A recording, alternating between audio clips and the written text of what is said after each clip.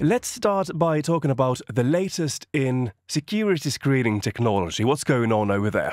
Okay, well, one of one of the uh, recent developments is uh, research that's been conducted at the University of Pittsburgh into a new kind of detection system for the checkpoint for passenger screening.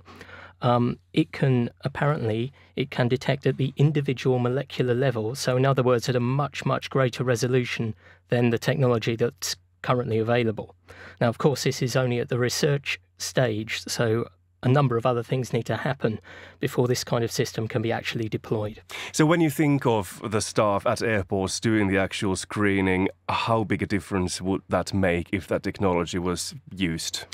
Well, I suppose they, they would have to be trained in using those systems, but the, the main difference would not be so much in the in the human factor, but in the actual um, accuracy of the detection of passengers as I walk through the checkpoint. And when we talk about different different threats, um, you mentioned before we started this chat that there's a new view that also it should be made sure that no explosives are hidden inside the body. What exactly does that mean? Well, there was a case a few years ago. Uh, this wasn't at an airport, but um, there was a, a, a Saudi um, member of the Saudi royal family who was actually uh, attacked by a suicide bomber who'd hidden an explosive device inside his body. And when that happened, um, that caused a lot of concern uh, among uh, aviation security professionals because it was a new kind of problem. That's something the airports and airports safety officials, security officials really need to think about. So that's right. Yes. The new technology, for example, that you mentioned in the beginning of that is could that potentially help? Not really, no, because um, there is a conundrum. There's a problem uh, that faces uh, aviation security when it comes to trying to detect hidden threats under the skin, subcutaneous um, explosives. In that, in order to actually do that, you need a device that's very powerful, a kind of medical standard X ray device, but that comes with a lot of health risks. And there's a lot of concern among the general public when it comes to actually introducing what is called active X ray technology. X ray transmission X ray systems, which actually produce and emit a lot of radioactivity and hence could cause uh, health risks if they were deployed routinely for airport security. So, most of the systems that we're talking about that are either under development or that are already in use don't actually produce that kind of uh, high level of radioactivity that could detect a, a, threat under the skin. So, so what approach exactly should be taken when we think about the threat of, say, medically implanted explosives, say, explosive mm. inside breast implants? Well, I, I suppose it, it might actually not be a technological solution. Um, it may end up being uh, uh, more of a focus on intelligence. Um, uh, de- trying to detect the threat before it actually reaches the airport. And there is a lot of movement now in the industry to what is called risk based screening, where um, the normal passenger is, is subjected to a, a, certain basic level of screening, but thanks to um, you know various data that is available to the security agencies um, in advance of the passenger getting to the airport, the passenger can be sorted into a number of different categories before he or she actually gets to the checkpoint and therefore those that are of the highest risk can be identified and screened accordingly. Can you give me examples of, of, of what those different categories are based on? I don't know, but I'm sure you can guess. exactly, exactly. Well, moving on to, well, actually talking about this experience when you go to airports and talking about new technology, is there any chance, is there any hope that in the future that may actually all become easier for the passengers? Well, that's the idea, and um, airport authorities and uh, national governments are well aware of the inconvenience of the security process, and that's one of the things that, that causes the most stress and inconvenience to passengers. Um, so there's a, a strong business reason for the aviation industry to try and develop a more convenient checkpoint process. However, the threat remains. It can't be minimised and it mustn't be minimised and it has to be dealt with somehow. Let's continue by looking at the European airspace. For several years, the European Commission has co sponsored a research and development project that's called SESAR.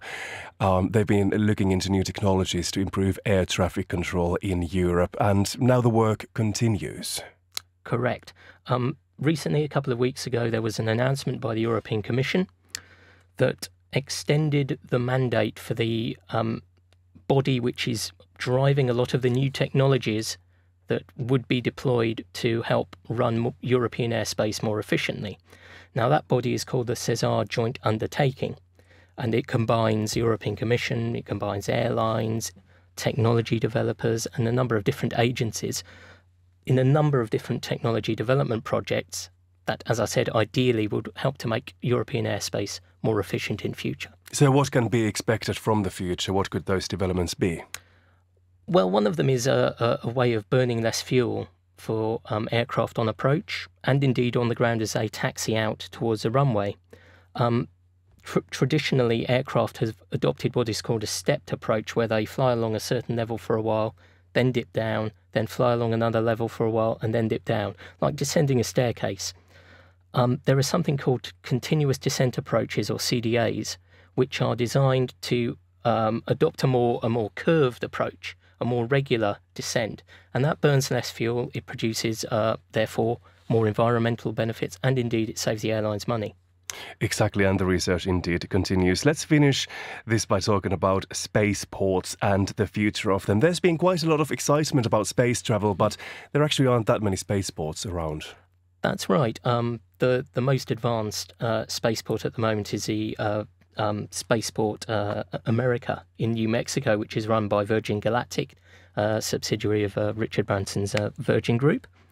And um, they're the only one that's got a tenant for uh, commercial uh, spaceflight services. And of course, that tenant is Virgin Galactic. And now there's a new development actually in the US of potentially having a new spaceport. That's right, yes. Um, near Houston, there's a, a dual use civil military airfield called uh, Ellington Field, which um, is possibly going to be transformed into a spaceport. The Federal Aviation Administration has the application, it's considering it at the moment, and again, um, it, it's uh, uh, a potential uh, development, but um, there's a lot of talk, a lot of uh, a lot of uh, ambition, but not very much achieved so far. And when it comes to the issue of of not really having too many spaceports at the moment, is it because the industry is not really running it and bringing money? Do we actually need to wait? wait for actual commercial human space flight services before there will be more interest for developing these spaceports? I, I suppose that can be best summed up as a chicken and egg situation. Um, I think perhaps uh, uh, the idea is a bit ahead of its time. There's lukewarm commitment from, from rocketry companies, and they would be uh, driving a lot of the uh, the business for uh, spaceport operations. It wouldn't only be for human people for, for, for space tourism. There would also be a, a, a you know commercial rocketry element to these.